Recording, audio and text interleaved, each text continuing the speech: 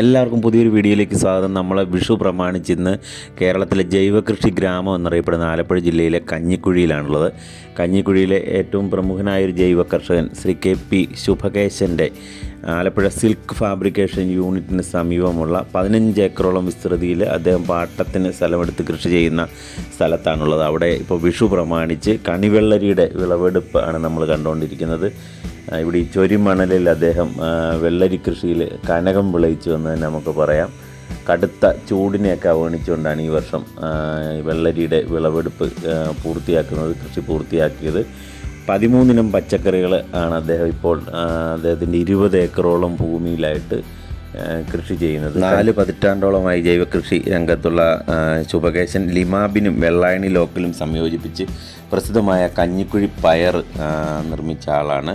അതിന് അദ്ദേഹത്തിന് ഒരുപാട് പുരസ്കാരങ്ങൾ സംസ്ഥാന സർക്കാരിന്റെ ഹരിതമിത്രം പുരസ്കാരം അടക്കം ലഭിച്ചിട്ടുണ്ട്. നമുക്കിപ്പോൾ കാണാം അവിടുന്ന് വിളവെടുത്ത കണിവെള്ളരികൾ ഒരു കൈവണ്ടിയിലാക്കിയിട്ട് അതിന്റെ ഗോഡൗണിലേക്ക് കൊണ്ടുപോകാനായിട്ട് ഇവിടെ തയ്യാറാക്കി വെച്ചിരിക്കുകയാണ്. അദ്ദേഹത്തിന്റെ സഹായികളായിട്ട് ഇവിടെയുള്ള ഭാര്യയും അതുപോലെ തന്നെ ഇവിടുത്തെ ജീവനക്കാരും ഒക്കെ ഈ വെള്ളരിയുടെ വിളവെടുപ്പിനായിട്ട് സ്ഥലത്തുണ്ട്. നമുക്കാണ് കാണാം ഇവിടെ ഈ ചൊരിമണലാണ് കൃഷിക്ക് വളരെ ദുഷ്കരമായ ഈ ചൊരിമണലിലാണ് ഈ കഞ്ഞിക്കുഴിയിൽ ഏകദേശം തൊണ്ണൂറ് ശതമാനത്തോളം ആളുകൾ ഇവിടെ കർഷകരാണ്.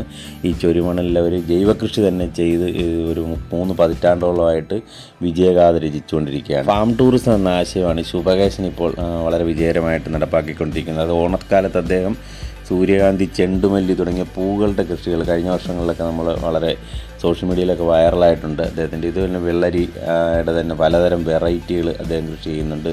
അതുപോലെ തന്നെ പയർ മറ്റ് പച്ചക്കറി ഉൽപ്പന്നങ്ങളെല്ലാം തന്നെ ഇവിടെ കൃഷി ചെയ്യുന്നുണ്ട്. കടുത്ത വേനൽ ഈ വർഷം കൃഷിയെ ബാധിച്ചു. ചെറിയ ഹോസുകളിലൂടെ പല ഭാഗത്തേക്ക് വെള്ളം എത്തിച്ച് ആണ് ഈ കൃഷി നടത്തുന്നത്. കുളങ്ങളൊക്കെ ഇത്തവണ വറ്റി എങ്കിൽ തന്നെയും അതിന് ബോർവെല്ലൊക്കെ സ്ഥാപിച്ചാണ് അതിന് പരിഹാരം കണ്ടത്. നമുക്ക് കാണാം ഇത് ഫാം ടൂറിസത്തിന്റെ ഭാഗമായിട്ട് സ്ഥാപിച്ചാണ് ചിലങ്ങൾ ചില ചെറിയ കുളങ്ങളുടെയൊക്കെ മുകളിൽ ഇങ്ങനെ ആളുകൾക്ക് വന്നിരിക്കാനും ഒക്കെ ആയിട്ടുള്ള സജ്ജീകരണങ്ങൾ ഒരുക്കിയിരുന്നു. ഇപ്പം കൊടും വേനൽക്കാലം കാരണം ഫാം ടൂറിസം അത്ര ആക്റ്റീവ് അല്ല. എന്നാൽ ഓണക്കാലത്തോടെ ഈ ഫാം ടൂറിസം എന്ന കൺസെപ്റ്റും വളരെ വിജയകരമായിട്ട് വീണ്ടും പുനരാരംഭിക്കാനാണ് അദ്ദേഹത്തിന്റെയും സഹപ്രവർത്തകരുടെയും ഒക്കെ ആലോചന. ഈ വിളവെടുത്ത കണിവെള്ളരികൾക്ക് ഈ വർഷം നല്ല രീതിയിൽ അത് വാങ്ങാനായിട്ട് ആളുകളുണ്ടായിരുന്നു.